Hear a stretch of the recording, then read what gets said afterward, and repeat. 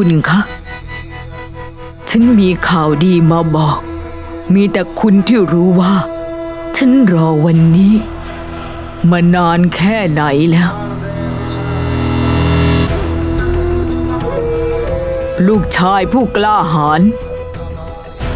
อธิราชทำความฝันของครอบครัวราชวัตรให้เป็นจริงแล้ว ความฝันที่จะทำให้ครอบครัวเจ้าหานต้องมาคุกเข่าลงตรงหน้าฉัน ความฝันที่ทำให้ชีวิตของฉันดำเนินไปได้ ฉันรู้ ฉันรู้ว่ามันผ่านมาหลายปีแล้ว แต่ฉันก็ยังไม่ลืมสัญญา ที่ฉันให้ไว้กับคุณ เพราะฉันรู้ว่า เทวียังมีชีวิตอยู่ วินาทีนั้นความคิดก็ผุดขึ้นมาในหัวฉันทันที ฉันจะทำให้เทวีต้องพบจุดจบให้ได้ ฉันจะให้มันชดใช้ในสิ่งอัปยศ ที่คุณได้เจอทั้งหมด ฉันจะแก้แค้นการตายของคุณด้วยความตายของนางเทวี แต่ไม่ จะไม่ทำให้นางนั่นตายง่ายๆหรอกมันทำให้ฉันรอมานานเหลือเกิน ตอนนี้ ฉันจะทำให้มันทรมานด้วยการเปลี่ยนมัน เป็นขี้ข้าของบ้านนี้ แค้นนี้ต้องชำระมันต้องชดใช้ ทั้งการตายของคุณและชดใช้ให้กับน้ำตาทุกหยดที่ฉันได้เสียไป วันเดียวเหลือเวลาแค่วันเดียวเท่านั้น หลังจากนั้นชะตาของตระกูลเจ้าหานจะอยู่ในกำมือของตระกูลราชวัตร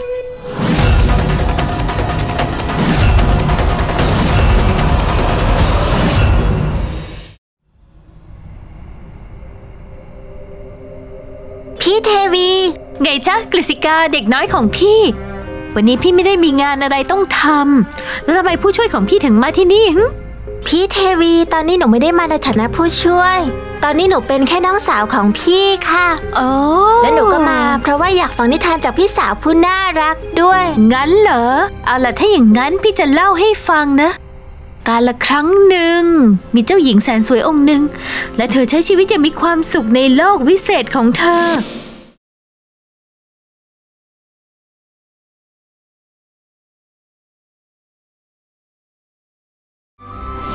เหมือนกับน้องเลย และแล้ววันหนึ่ง สัตว์ประหลาดก็เข้ามา ในโลกของเธอ สัตว์ประหลาดตัวนั้น มาขวางทางเจ้าหญิงแล้วมันก็โหดร้ายน่ากลัวมาก เสียงมันน่ากลัวมาก สัตว์ประหลาดน่ะสร้างปัญหาให้เจ้าหญิงมากมายเลยล่ะ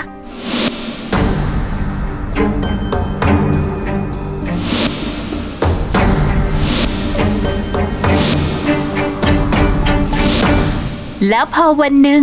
ได้มีเจ้าชายรูปงามมา ช่วยเจ้าหญิงจากเงื้อมมือของสัตว์ประหลาด และเขาทั้งคู่ก็ใช้ชีวิตอย่างมีความสุข แต่พี่คะ เจ้าหญิงแสนสวยก็ต้องคู่กับเจ้าชายรูปงามใช่ไหมคะ แล้วทำไมพรุ่งนี้พี่ต้องแต่งงานกับสัตว์ประหลาดด้วยล่ะไม่เห็นเข้าใจเลย พี่เทวีได้โปรดอย่าไปกับสัตว์ประหลาดเลยนะคะ หนูว่าเขาน่ารังเกียจมากเลยเมื่อวันก่อนอะเขาก็ราดเราด้วยน้ำมันอีกอะพี่ฟังหนูนะคะพี่เทวี หนูไม่ชอบเขาเลยอะเข้าใจร้าย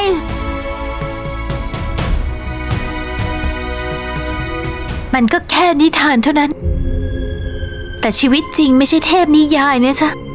ชีวิตจริงเมื่อสัตว์ประหลาดทำร้ายเจ้าหญิง เธอก็จะ พี่จะบอกเธอยังไงดีนะ ธอถึงจะไม่สิ้นหวังแบบพี่นะ ฟังนะ เมื่อนานมาแล้ว พ่อของเธอสอนพี่ไว้ว่า เธอกับพี่ต้องจำไว้เสมอว่าเราไม่ต้องกลัวอะไรทั้งนั้น แล้วก็ต้องไม่สิ้นหวัง เพราะไม่ว่าปัญหาจะใหญ่แค่ไหน ความหวังจะนำรอยยิ้มมาให้เราอยู่เสมอเลย ตราบใดที่เรามีรอยยิ้ม เธอต้องคิดเลยนะว่าพี่สาวของเธอกำลัง แก้ปัญหาให้เธอได้ทุกอย่าง โอเคไหม พี่เทวี ถ้าเจ้าหญิงต้องแต่งงานกับสัตว์ประหลาดแล้วเธอจะกลับมายิ้มได้อีกงั้นเหรอคะ เธอจะต้องรู้สึกพ่ายแพ้สุดๆไปเลยอะหนูคิดว่าอย่างนั้น ไม่กริสิกา